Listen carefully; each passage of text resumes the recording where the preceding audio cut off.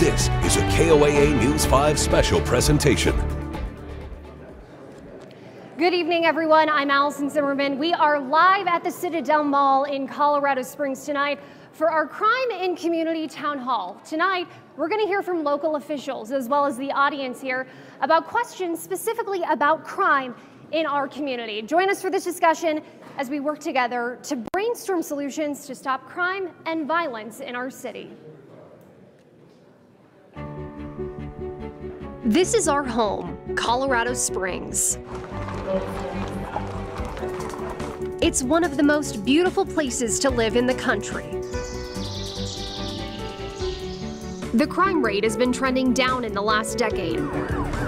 But there are still areas where our city can improve. According to data from CSPD, motor vehicle thefts jumped 33% from 2022 to 2023. And the suspects in many of these cases are kids. And that's really staggering if you think about it. Would you ever have thought that many juveniles are, conduct, are committing those types of crimes on such a consistent basis? Data from police shows around 400 kids were suspected of crimes in the city each month in 2023. More than a quarter of those were suspects in crimes such as assault, robbery, and attempted murder. We've got 10 year olds that are stabbing people, shooting people, 11 year olds, 12 year olds doing the same thing. Instances of violent crime have rocked parts of our city, with some members of the community saying enough. These flashes of violence that occur are really just a reminder that we have a problem in our neighborhood that is underlying and being ignored and you know and not being addressed properly. Tonight, we're at the Citadel Mall where 3 people have died in shootings in the last 2 years. And left a 13-year-old girl paralyzed. When you really look at it, it's not the mall that's doing this to us, we're doing this to us. In the next hour, in a town hall hosted by News 5 and the Gazette, we're focused on solutions to end violence and save lives as city leaders and members of the community brainstorm ideas and answer your questions. The Crime and Community Town Hall starts now.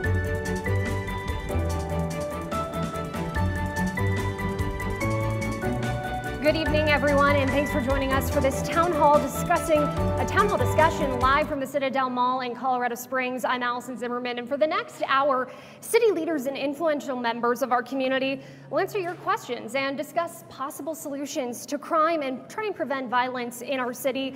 We want to thank today's speakers for participating in this town hall tonight including City Council member Nancy Henjum. Councilwoman Henjum represents District 5, which covers areas north and east of downtown all the way to Powers Boulevard. This includes the Citadel Mall. She has lived in District 5 for more than three decades. And next, we welcome Dee Smith with the Men of Influence. His organization's mission is to bring local gangs together for open discussions to prevent violence in our community. They've also started a mentorship program in some schools within Harrison School District 2. And also joining us this evening is Mitchell High School Principal George Smith. He was born on Fort Carson and has called Colorado Springs home his entire life. Principal Smith has worked in public education since 2002. And we also want to introduce Colorado Springs Police Chief Adrian Vasquez. Chief Vasquez joined the Colorado Springs Police Department in 1995, after serving in the U.S. Air Force, he was appointed as Chief of Police in April of 2022. And we'd also like to thank Colorado Springs Mayor Yemi Mobolade to our town hall. This is his first four-year term as mayor. One of his top priorities as a candidate was public safety, promising to bolster officer recruitment and training. Before we get started, we would like to thank Deborah Thornton and everyone here at Imagination Celebration here at the mall. Thank you for providing this space for this meaningful town hall discussion. We're excited to talk about some possible solutions and hear from community members tonight. Let's give a round of applause to our panelists.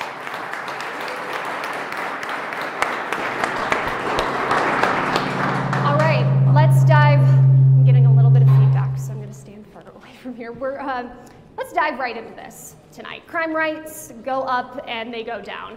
In addition, the perception of crime rates can vary, but what is the reality? Is Colorado Springs a safe place to live? Are we on the right track in fighting crime? Or do we have a long way to go? Let's hear from Mayor Yemi Good evening, everyone. It's Thursday evening, and here you are I, I'm really impressed. I see so many friends and community leaders in the house, so thank you for being here. Um, Deborah Thornton, Imagine Ce- uh, Celebration, thank you for hosting this very important conversation um, as well. Allison, too, thank you. Um, there's a difference between perception and reality. Uh, I want to talk about not what just perception is. Let's talk about re- reality. And uh, Chief Vasquez will probably touch on this as well. The, the data is promising. The data is hopeful. The data shows that actually crime is going down, uh, in some cases, double digits. So that is the good news. That is the city you're living in. And that data is from 2023. I want to be clear. Um, we, we don't quite uh, have the 2024 data yet. Um, that said, we have work to do. Uh, the data also shows that we're, we're seeing some uptick in juvenile crime, and Chief will probably talk a little bit more about this too.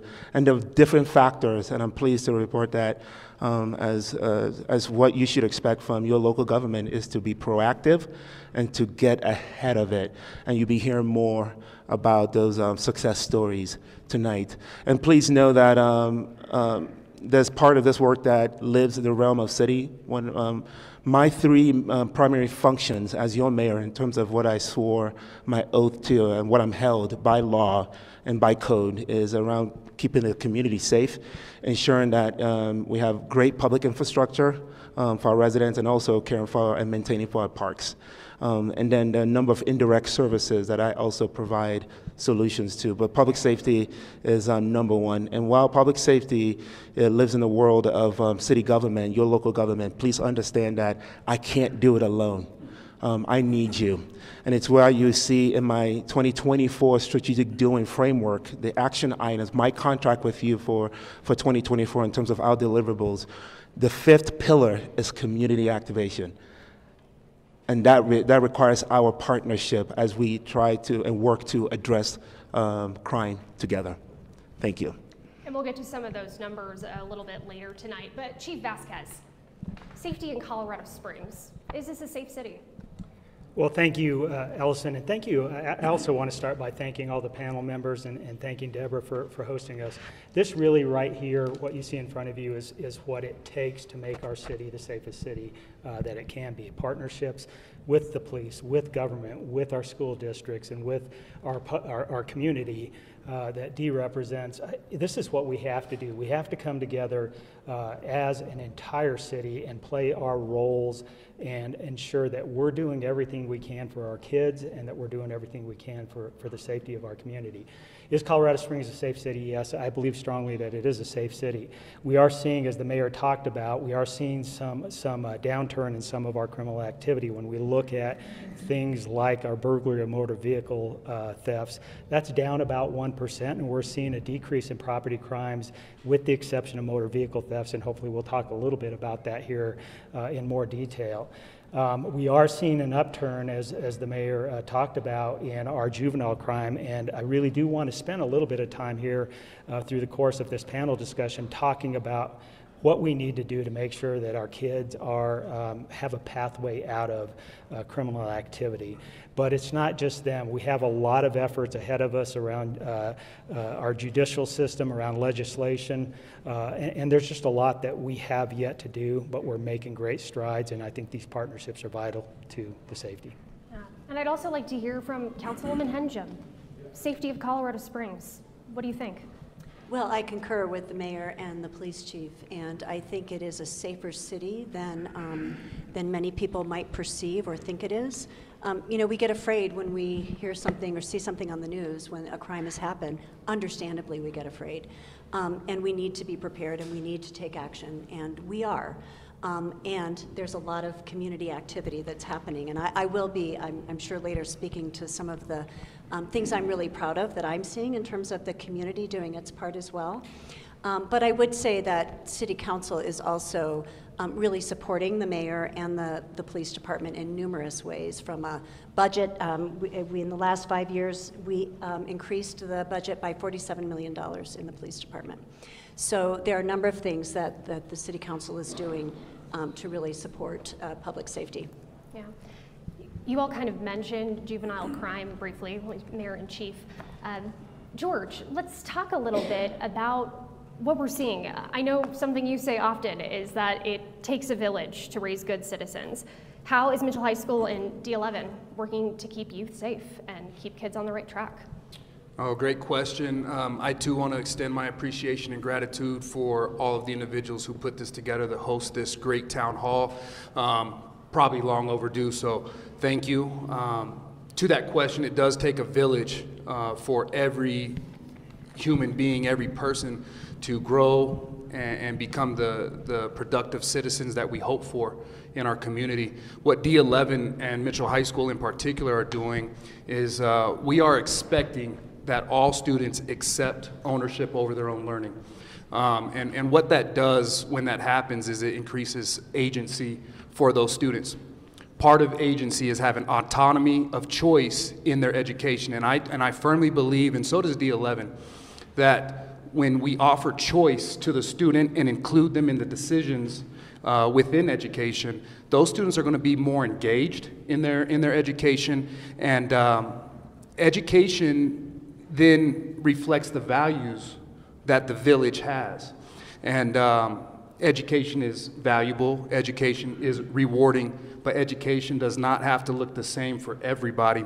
And so D11 and, and, Mitchell High School are embracing that philosophy, and we are offering not only traditional pathways, but we're also offering um, non-traditional pathways through CTE, Career and Technical Education. At Mitchell High School, there's an airplane being built in the old car shop currently. And so um, I challenge anyone to come and see that for yourself. But if a student is interested in building an airplane and getting into um, aerospace um, science, we have that availability at Mitchell. And there's other options throughout D11.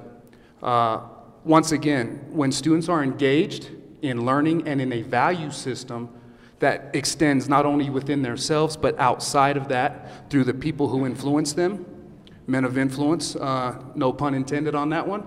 But, um, you know, those students will stay off the street and, and remain safe.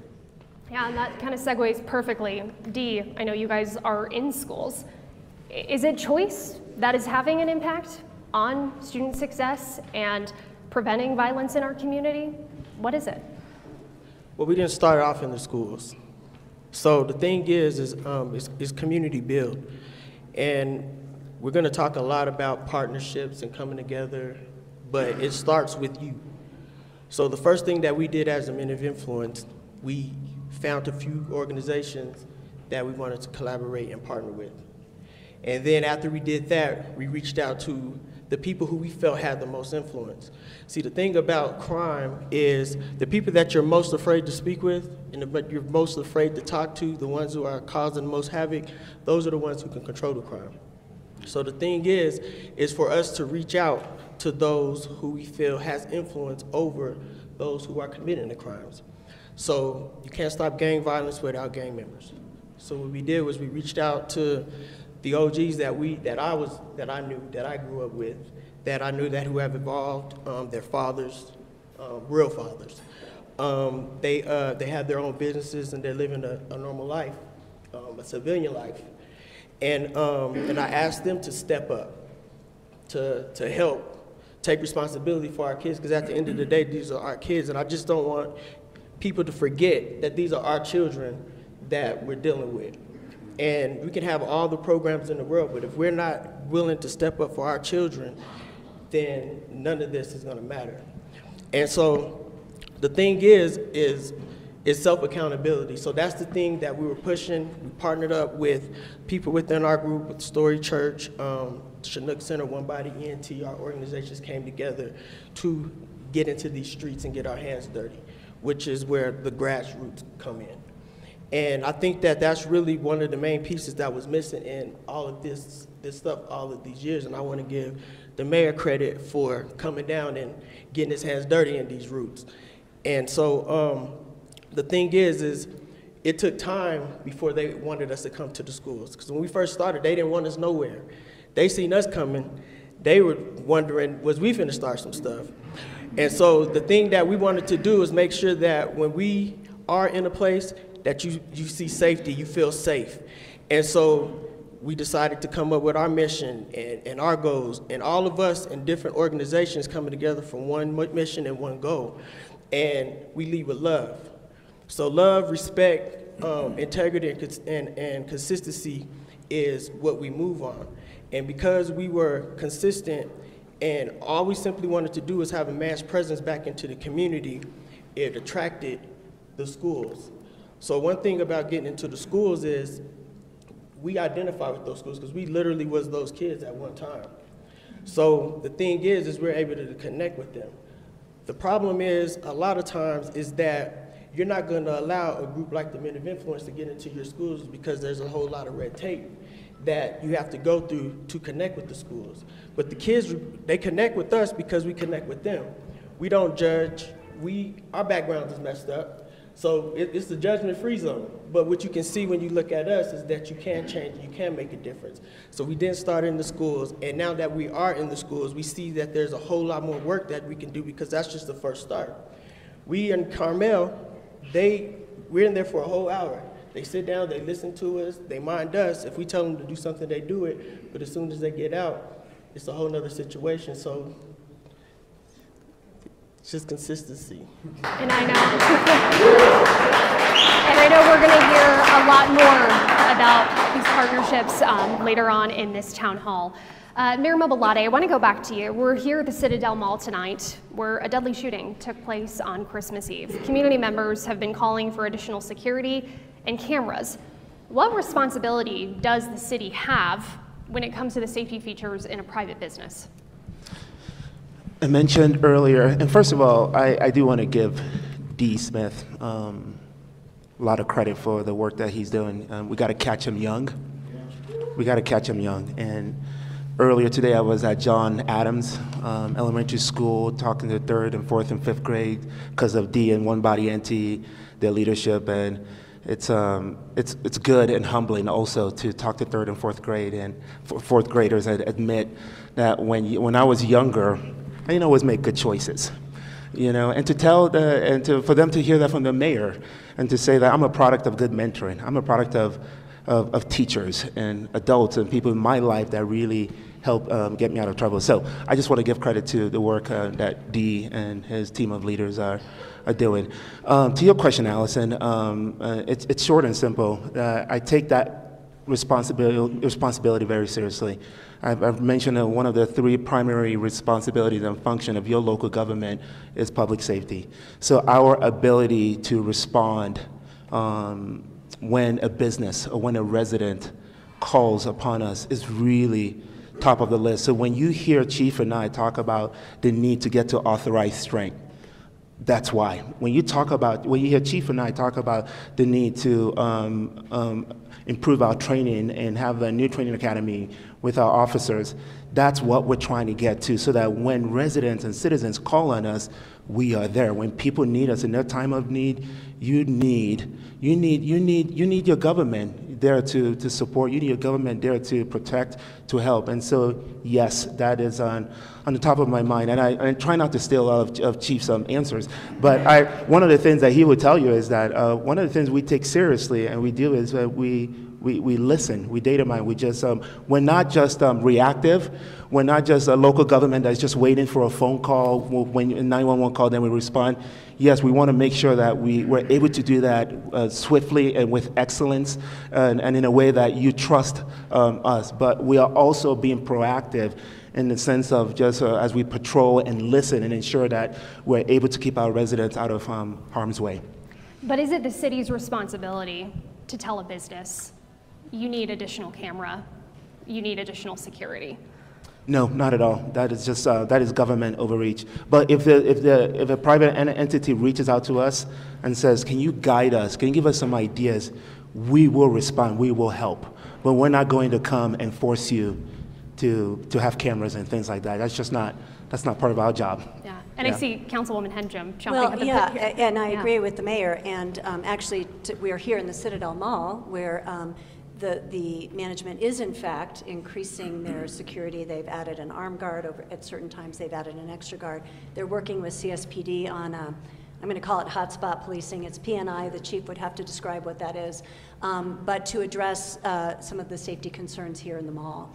And by the way, I do just want to say, um, in, in terms of this mall, and um, yes, there have been some things televised and, and horrible uh, things have happened in this mall, and not to diminish that.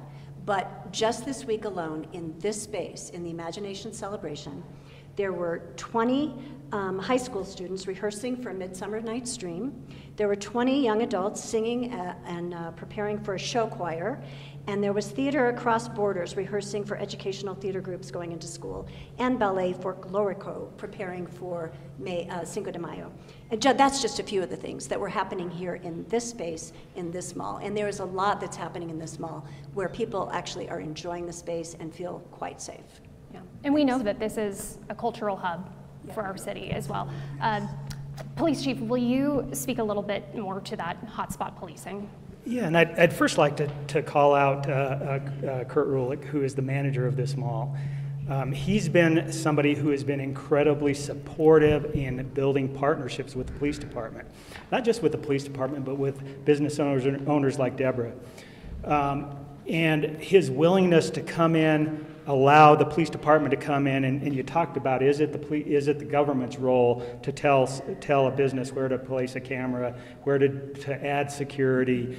It, it really isn't. But somebody like Kurt and any business owner out there should know that the police department has what they call CPTED uh, evaluations, which is crime prevention through environmental design. We will come in at your request and we will do a complete evaluation of your business, and that's what Kurt has done. And we will tell you, hey, we recommend you put cameras here. We recommend you not have these big rocks right here by the window that somebody can grab and just throw through your window. And they, the, the crime prevention through environmental design is a huge piece to your question. We'll do that for any business. Um, but beyond that, the partnerships um, around uh, this type of hotspot policing really is a holistic approach. So you take a place like the mall that has some, some violent acts that happen here, uh, and that has been highlighted by a lot of uh, media and by, by uh, the police department through our response. And you look at partnerships with the people, not just Kurt who manages, but all the business owners. How can we come in and collectively help what can we do to make sure that we kind of dismantle the networks that allow uh, violent crimes in a place like this? Gun, gun crimes are really what it, it focuses on, but really it is a holistic approach to evaluating all the partnerships. Are there some city entities, like, for example, can streets help in some way? Can uh, utilities help in some way? Um, what other uh, partnerships can we bring to the table that can really make it less likely that people are going to gather that want to do criminal acts. Um, and I'll just give you one example about it. A mall, for example, is a place where a lot of vehicles are parked, right? People drive here and go to the mall. What do we have a lot of here in Colorado? In Colorado Springs, we have a heck of a lot of motor vehicle thefts to the tune of about 4,383 just in 2023. That's a lot. So, how can we deter criminals from coming to a mall and stealing vehicles, as an example? Yeah. And I promise we will get to that auto theft discussion at some point tonight. Uh, George, specifically, though, Mitchell and the Citadel, longtime cornerstones of an iconic neighborhood here. What does Mitchell community hope to see for the future of the Citadel and its surrounding neighborhoods? Yeah, that's a that's an interesting question. Um, as a Colorado Springs native, uh, like you mentioned earlier, born on Fort Carson, um, oftentimes before much of the city was developed, traveling from the southern end of town to up, up Academy to the Citadel Mall seemed like a, a big jaunt. Um, and so it was exciting to go to the mall. Um, and so I remember as a, as, a, as a child coming up here, it was, it felt safe. It felt like a community space where we could spend time with one another. I don't remember as a young person being in fear when I was at the Citadel Mall. Matter of fact, if I wasn't here, I was probably across the street at the Dollar Cinemas um, and, and never felt unsafe and that was even in, in the evening time, right? Um, and so, to answer your question, it's let's get back to that.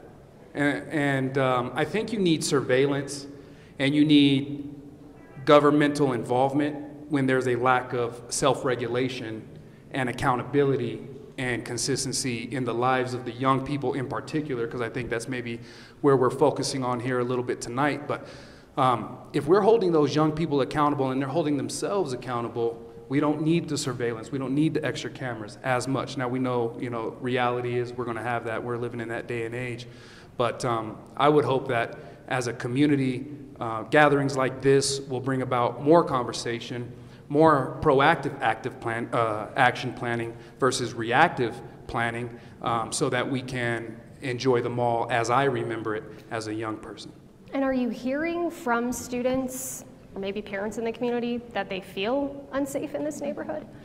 Interesting you asked that question. I oftentimes arrive to Mitchell High School at 5.15 in the morning, starting to get lighter now, um, and leave around 5 o'clock at night. Um, in the wintertime, that's dark and dark. I don't feel unsafe. Um, I told a story the other day. Matter of fact, I know just a little bit about real estate, um, and I know when women are pushing babies, people are out jogging, children are walking um, to and from school, um, the real estate goes up, the value goes up. I see that at 5:15 in the morning. Oftentimes, I see the children getting off of the school buses by Mitchell, who are elementary students, going to nearby neighborhoods, um, laughing, smiles on their face. Um, a lot of it is a bad narrative of this of this neighborhood. Okay, and so we have to uh, collectively, and I do want to mention this. Uh, I think this is a good time uh, that media is part of this community, and though and, and, and though media does a great job of hosting events like this, I would also encourage the media to balance the positive along with the the, the, the, the, the tragic events that happen. Dee, I know you, your group has made your presence known here at the Citadel. How have your efforts gone here? And can you tell us a little bit about what you've been doing?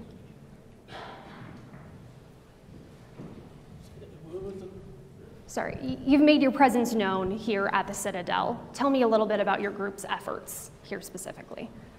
Um, one of the things is um, about having our presence at the um, the Citadel has just been more intentional now.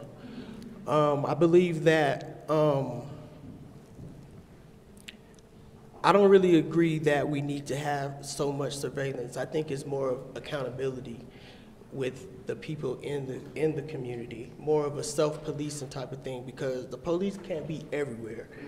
And so the thing is, is if we're able to um, to police ourselves and hold each other accountable. And it's really, I just feel like we just need more men in the community to step up, and that's really what we're trying to do. Um, and that, that's just basically it, because you have to communicate with these kids. You have to communicate with these families. And the only time we really get a chance to, to communicate with these families is if we're, we're out and about. So one of the things that we're gonna really need to do is get back these resources that, so these kids can gather and to have people like, you know, the people in the community that's doing so much, but we don't have nothing for these kids to go, so they, they're running wild. They don't have no discipline nowhere because they don't have nowhere that they can go to get that discipline. And so one of the things is to me is that we need to start providing and making sure that the groups that are out here making these moves and, and having presence in the community have resources to to have these kids more than just in the schools. They got to have outside of school stuff. I hear both of you talking about this idea of self accountability, but can you paint the picture for me of what exactly that looks like? Is it, is it specifically mentorship? Or what is the self accountability? Where does it begin? Might as well. no, with, with, with self accountability, it is for. So the thing is, as far I'm speaking as far as far as the one body e, I mean, one body ENT family with the men of influence, um, we don't point out, we point in. So whenever we find out a problem or a complaint, we try to be the solution to that. So our whole thing is just being solution based. A lot of the times when you have a relationship with your community, the community is going to tell you what they want. They're going to tell you what you need, what they need. A lot of times before these kids do get in trouble, their parents then already reached out and said, "I just need you to do something with my boy." we, can you can you guys do something? We and we and we can't all the time. You know, we can talk to them, but there's not nothing. We don't have a, a hub where we can go to like we had back in the day, where you have the boys club, where you can go to the boys club and have activities and stuff like that. So the thing is, is that we just create them. The problem with creating them is that we're all working and we all have lives, and it's and it's difficult because we don't have the proper funding to do the things that we do. So things get you know, you get lost in the cracks. But the community tells you what they need, and you just have to provide those things for them. I'll just add on quickly. Oh, I'm sorry, Nancy. I'll just add on quickly. Uh, Dee, you know, sparked a thought. When, when I hear self-accountability, that could be collective, but it could also be individual. And so, you know, again, going back to a value system, let's go back and analyze and identify truly what are the values of this community. And that will help the young people hold themselves accountable as an individual, as a social group, and we can hold each other self accountable as a collective community if we, if we get back and start to have those conversations. Yeah. And if I could add, I, I would say um, what both of these gentlemen are saying, if I think about all of us, we all need to be accountable for what we do every day when we get up. Do we do what we say we're going to do? If we need help, let's ask for help. If we make a mistake, let's, let's admit it and let's make a correction. That's true for all of us. That's true for every single person in this room and every single person in this city. And imagine with that, you know, uh, I love what you're doing, um, George, in your school, in that, you know, taking ownership from the inside out. That's how change happens. It's not outside in, it's inside out.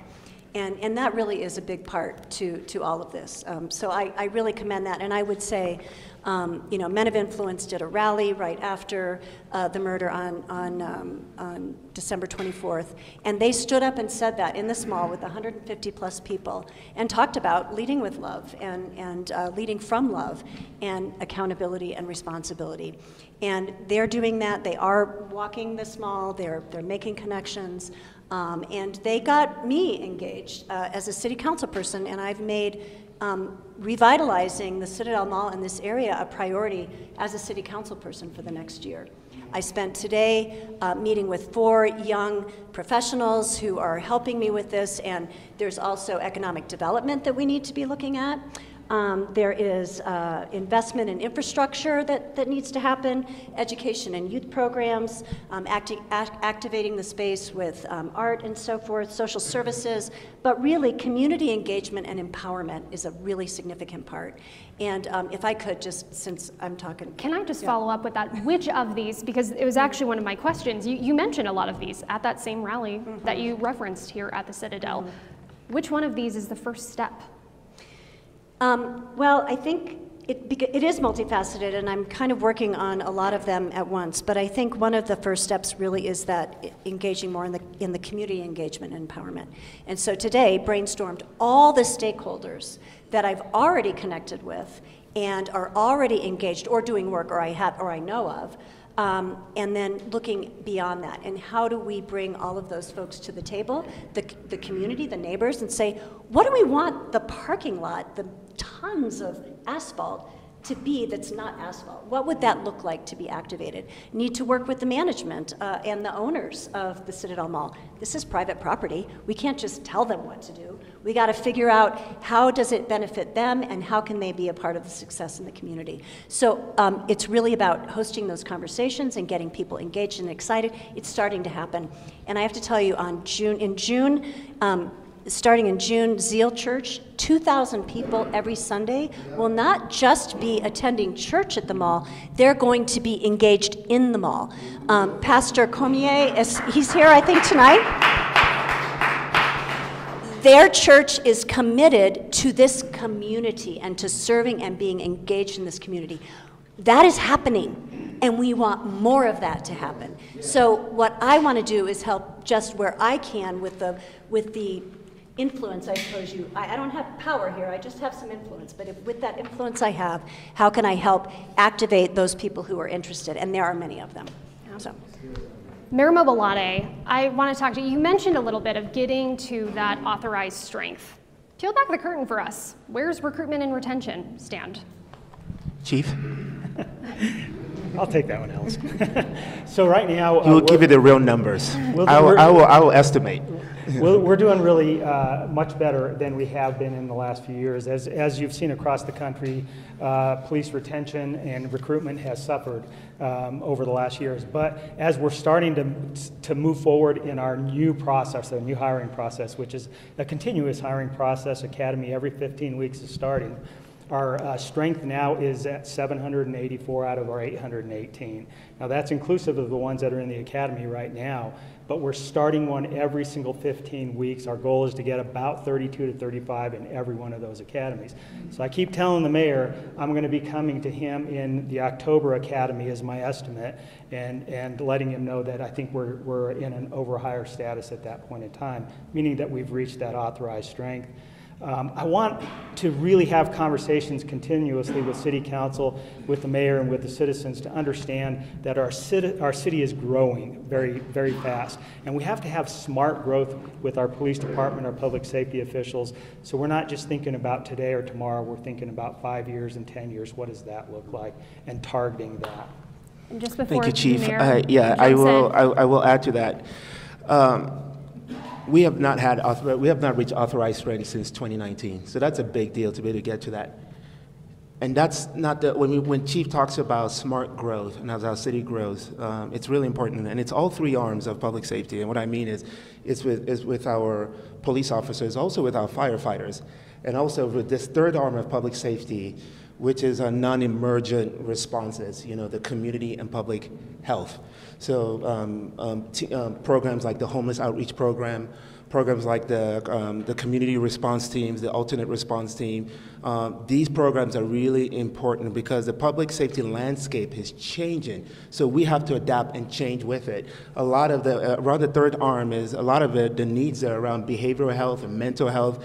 And now we have trained public servants who with social work degrees and who are passionate servants who are able to work with some of our most vulnerable population. And also, these programs help reduce the cost of uh, on our 911 emergent services. So as our city grows, it's important that we think through how we grow in all three areas. There's a fourth area, but actually connected to the first one.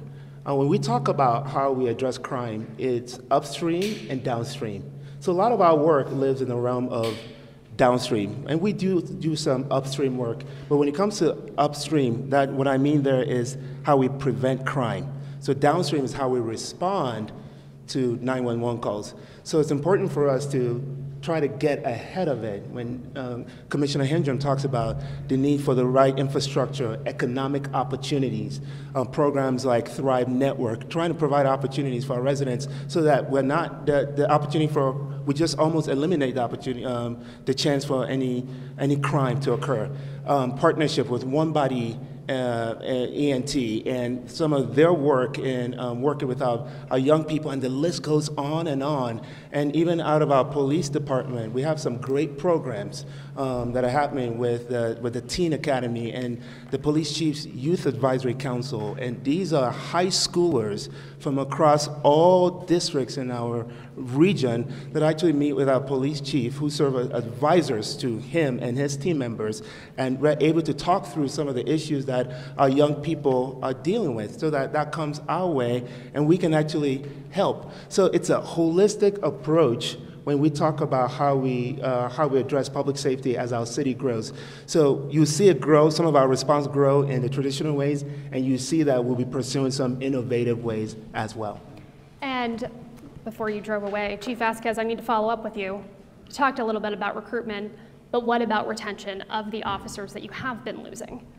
Well, and that's another important piece of it, right? We want to make sure that we're bringing new, new uh, uh, officers and, and employees into the police department, but what are we doing to make sure the stresses on our officers lessen? Um, and we're also doing a tremendous amount of work in that. So through the course of 2023, we saw that uh, attrition rate um, hit somewhere around seven a month. Um, but as we move into this year, I think we're starting to see a lot of our efforts uh, come to fruition. For example, in February, we only lost three officers. That's ex- extremely less, right? We've been, decreased our attrition, and we're starting to see that through this year, through the efforts that we've made. And a lot of that really is what stresses are on our officers. What can we do to reduce those stresses through mental health, uh, wellness uh, programs? Um, you know, things that are really uh, stressing our officers, for example, are our fight with um, legislation, because it becomes so frustrating for officers to continually arrest and rearrest the same offenders over and again. So they're starting to question, you know, why are, why are we here? So really being transparent with our officers about all the things that we can do, not only internally to support them, but quite frankly, this community has been amazing. We have an incredibly supportive uh, community for our, our public safety officials on fire, police, OEM. And, and, I'm really proud about the relationships like this that we continue to build because I think that is a critical component to keeping our officers. Yeah. And uh, Nancy, what task is City Council doing specifically to support Mariemi and the police department? I have a list. um, so I mentioned the one, uh, the, the budget over the last five years, $47 million increase. And as you know, City Council, is this what you're looking for? It is. I have a quick follow up yeah. if you don't mind. Is money the answer? No, not entirely. Um, it's one of the things. Um, we have. I'll get to you in a minute, Dee. Um, we've advocated for and supported um, higher salaries for the 9/11 dispatchers, so making sure that we have full strength in 9/11 dispatch. We've ad- advocated for um, support and supported moving um, abandoned vehicle management from the police to our um, uh, neighborhood services, which has actually uh, freed up some of the the uh, the workforce at, at, CSPD to do other things. Um, we had an ordinance to support uh, the CSPD in um, stopping street racing, so that's happened. Um, we've raised the public safety impact fee. Um, uh, with a projected 40, $45 million over the next 12 years. Um, it's really only 70% of cost recovery for any new development, so, but but that happened just a couple of years ago, pretty important. And then personally, for myself as a city council person, it is doing things like um, helping uh, to facilitate and connect organizations like Men of Influence with our CSPD and having conversations about how can we um, work more closely together. And look, City Council is very, very supportive of our police department. We don't have legislatively, we don't have power or authority over the police. That's the mayor's role as a strong mayor. We can support from a budget perspective, we can support from you know, having influence and having conversations and, and facilitating conversations. Um, but those are some of the things that City Council is right. doing. And, and, I, and I do want to add that uh, com- uh, uh Councilmember Henjum is right, but I don't want to minimize that their partnership with my office and with my administration in the budget is really important. When I talk about the third arm of public safety, the community and public health services, mental health, behavioral health, um, for City Council and I to be on the same page is really important because this year we increased that budget by 58% so that we can fund more public servants who are able to be out there with the non-emergent services and working with our most vulnerable population. So it's really important because uh, I, just so you know how the government works, we, we create a budget, council says, says yes. So we have this partnership back and forth, and we have to be on the same page for their yes. And Allison, one more thing. The, uh, yes, that's all very true, and that partnership and, and, the communication is very important. Another important thing that happened three or four years ago now, um, was the uh, uh, development of LETAC, which is the Law Enforcement Transparency and uh, Advisory Commission. And um, that is really about engaging the public and, and dealing with where there are challenges and, and how, can, how can the community um, be in conversation and support the police, but also, you know, where there are challenges and where there's feedback, how do we give that feedback? How do we engage the community? And that is a uh, that is a commission of council. Um, but again, it's the mayor who who uh, has authority over the police, but we try to be in conversation with the police through that citizens commission. Yeah, and Dee, you you had a reaction there. talking about the budget. Yeah, I, I, I believe that um, they just they just need to be updated on what's been going on. Money is very important because,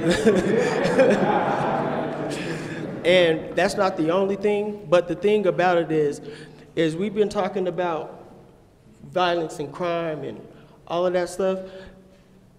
They're missing the most important part, and that's the only piece that's been missing this whole time, is the interruption part the, the, the violence, the, um, the murders don't go down just by itself. I'm gonna give you an example. On December 24th, when that young man was, was murdered, right? Everybody in this city, it felt like, is calling me, asking me, what are we gonna do? What, what, what next? They're panicking. One of my guys down. He texted and said, "Up, oh, I guess the men of influence is gonna be working on Christmas."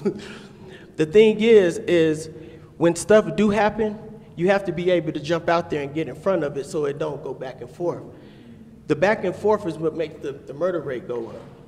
If you're able to stop it or slow it down, or at least to get somebody to listen and talk, then that's the first step.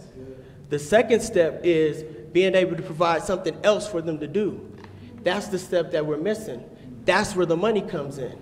That's when you have you have teen nights that you can have. That's when you can have after school programs and stuff like that to where when you say, look, this is not what y'all gonna do, y'all need to do, this is what we can do, we have to put something else in front of them because they don't have anything in front of them no more. And so we go in and we tell them, don't shoot that man. They tell us, okay, now what? And so they're good for another week or two, and then now out of time. And that's the same thing for kids as it is for adults. And the thing about it is, because of our background and because of the influence that we have in our respective areas, we, we know what that, what that feel like because we lived it. So a lot of us have, a lot of people that's out here then did a whole bunch of wrong. A lot of people that, if you grew up in Colorado Springs, nine times out of 10, you got into a fight so you know all of those different feelings and emotions, and you know that if you don't replace it with something, then that, that means that you're going to just fall back into your old ways. That's why it's important for our organizations that are already out here doing it. You don't have to find nothing else. There's people that's already doing it that's struggling. We doing that that that um that uh, project at John Adams for those kids. It takes money for us to do that art. It's going to take money for us to put it on that bypass. It's going to take money for us to do an unveiling. So how are we going to get the money? And so the thing is, that's what's but, and that's and that's what's that's what's teaching these kids, and we are we're already showing them the way. The thing about the mayor coming, I just want to thank you for coming. John Adams is the school I went to. That's my elementary school. And by you coming up there, I ain't never seen no mayor before ever. So by you coming in there talking to them, that's one thing that just lets them know. We seen Obama on TV. They got a chance to see you. You are history. I was talking to those little kids and I was like, that is history right there. So when your kids is talking about the mayor and your grandkids are talking about the mayor, you can say, I took a picture with the mayor. I met the mayor. He came to my school. That's something I ain't never had. So that's what we wanted to create with One Body ENT. That's what we wanted to create with the Men of Influence. We wanted to be able to bring these kind of experiences down to our kids so our kids can see that it can happen. But for right now, we don't have none of that stuff. We're going in and, and, and my guys is just working their tails off, trying to trying to save something and and it gets hard because we're doing all of this this work and fighting and trying to help and trying to save everybody, but our community turns on us too. That's why I understand what you go through. you go out there and you do the best that you can because there's only so much that you can do without the resources. Without the without those roots being healthy, there ain't no grass top. And I got that from Promise Lee. Just drop. but you can't you can't do you can't do anything without the roots. So we have to take care of the roots, and that's the thing that people do not take care of. You think that all of this pretty stuff that's going on, we're talking about all of these things, but the root problem is the prevention, the interruption, and resources, meaning money, so that we can provide something for these kids to do and adults. Yeah. All right. And I do I do want to bring up other crimes in our community Chief, you've mentioned auto thefts have been a concern for CSPD and truly departments around the state. Last year, police worked with legislators to strengthen auto theft laws, and many communities have seen declines in thefts. But in Colorado Springs, as you mentioned, auto thefts rose in 2023. What's going on here? What's being done about it? So we're doing a lot in, in uh, sort of the, the sphere around uh, motor vehicle thefts. Um, and we'll see, uh, there's, there's going to be lagging numbers. We'll see what the, the statewide reports are. But we're certainly seeing our share of motor vehicle thefts. I mentioned about, I think it was 4,383 uh, motor vehicle thefts just in Colorado Springs reported last year, which was about a thousand more motor vehicle thefts than the previous year. And part of it is public education. Part of it is making sure our motor vehicle theft and our officers are out there really working those type of prolific offender cases. But even from the perspective of, of uh, you know, educating the community, I'll give you one example. Hyundai's and, and Kias are the number one motor vehicle theft uh, or motor vehicle stolen. 38% of those 4,300 motor vehicle thefts were Hyundais and Kias. 38%. And there's a simple fix. It is going to the dealership, and uh, there's a fix so that the TikTok crave that, that allows it to be stolen, that educated everybody, um, makes it much more difficult. That's just one small example. But really, the other piece of it is the motor vehicle theft is a property crime. The problem is that we have every single day, almost every single day in this city, a, a firearm stolen out of a motor vehicle every single day. So whether it's a motor vehicle theft or a burglary of a motor vehicle, people are leaving guns in their cars, and those guns are being utilized for other types of crimes that are violent in, violent in nature. So there's a lot of education. Part of it is legislation. You're absolutely right. The legislators brought back the uh, 2022 uh, misdemeanor reform bill that put a motor vehicle back in the felony realm but there's still some hurdles that you got to get over. First of all, if you're a juvenile, our juveniles, we had one juvenile that has stolen 27 motor vehicles, motor vehicles last year, known to us our juveniles are telling us, you're not going to put me, you, there, you, have, there's no consequences. You're going to give me a ticket, and I'm going to go and steal another vehicle. We've literally had them telling us that. So there's a lot of uh, uh, self, um, you know, you know, we have to look internally, and, and self accountability has been talked a lot about. But Allison, I really want to just mention, I agree 100% about the interruption piece. I want to make sure that we understand that the police department and, and me specifically, I fully recognize the need for these other programs. Dee is absolutely right in that we need to have ways much further down uh, in our age brackets, down in our juveniles, um, to interrupt these kind of crimes and get them involved in other activities. Um, and I'm fully supportive of that. What I'm not supportive of that is the or. We either have to have that or we have to have this. It's an and. It's all of us up here. It's police. We need police, but we also need these other programs. We need SROs in our schools and we need all of our school programs. And the school districts around here are being very, very good about proactive approaches to making sure that our kids have those avenues available to them. Yeah. But just to be clear, I didn't say or. No, I know that. oh, I think we need everything because it all these pieces go together. And I just said that that one piece was the only piece that was missing. And, and since they aren't funded by the city, you can go to onebodyent.org or just Google it and you can donate if you want to support their work. All right, I. Oh, onebodyentklcc.org. Or you can go to www.themenofinfluence.com. All right. As we get near the end of our program tonight, I want to just kind of go down the line, kind of leave uh, our discussion here as far as what the future looks like. What solutions are we hoping to come up with uh, as we move forward? Bottom line, where do we go from here? Let's begin with you, Councilwoman Henjum. Okay. All right, where do we go from here? Um,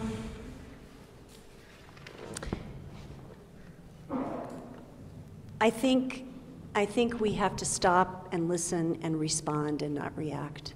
I think we need to take a beat and uh, notice our own fear. And how are we responding to that fear? And how are we reaching out? And where can we each of us every single person who's listening to me right now ask yourself what is needed here, right now, and am I the person to help meet that need? What can I do? How can I serve? And when we all do that, and we see, uh, we make connections and relationships, and we start contributing and serving in our community, and quit pointing fingers and blaming and expecting the police to do it or somebody else to fix it, then we're going to start seeing a change. Not fast, not quick, not overnight, but I think that's what we need to be doing. And I don't want to rush you all too much, but we have about four minutes left, so try and keep your responses brief. Uh, Dee, where do we go from Um, here? I think that we're on the, on the right track um, with uh, it, our leadership. I know that I have to take the time to be patient and understand the process. And I just appreciate you just coming down talking because I don't think that any of this is going on without the stuff that you've been doing.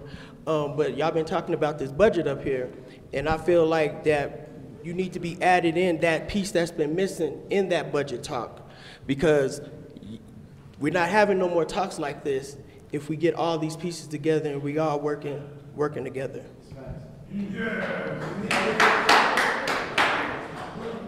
I'm going to say a couple things. The tragedy that happened on the 24th of December involved a Marauder graduate. He graduated. So that's number one. So when they walk through the doors of Mitchell, you know, that's the expectation. So high expectations is where we go from here for everybody. Um, and then I'm going to leave my comment where I started.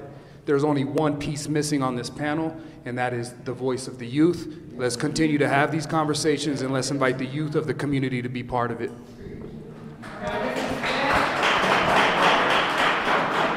Well, I think I agree with everything. You know, bringing the youth in and paying attention to our school age kids and, and really building partnerships and relationships across our community, being open minded to the relationships and to working together, I think is critical. I know I'm open minded, I know I'm wanting to build these relationships, and I'm sure everybody in this community wants the best for, for the safest city.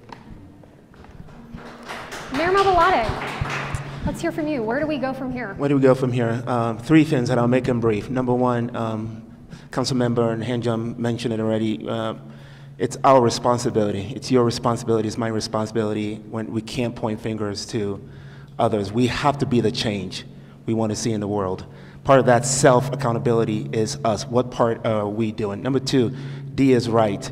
Um, they do need funding because just in the same way, you know, as we try to get to authorized strength, we need to pay our officers. And um, and what he doesn't know is I'm, I'm I'm working on trying to get some federal funding to support uh, One Body Entities um, initiative because they they, those things don't happen. Um, but I can't say anything until the money, I know for sure. but um, so yes, um, support them. And then and the third one is come to Citadel Mall. Yeah. It's safe. Come to the Citadel Mall. Come to Citadel Mall. That's that's how we that's how we you know come visit Zio Church. I mean, just be here. This place is safe. This is a great place to be, and come and support. Thank you.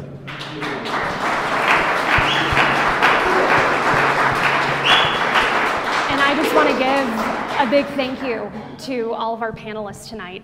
Um, and it's kind of a check-in of where are your sentiments in regards to the neighborhood and moving forward? Are, are we in a place, Nancy Henjum? We've got a minute left in our program, but just You know, this is in my district. It's a, it's a really vital, important space in this community.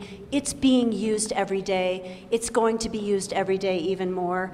Um, I, I feel hopeful, honestly. I really do. I mean, yes, things are hard and challenging. That is life. And, um, and I, I think we're in a good place. I appreciate you.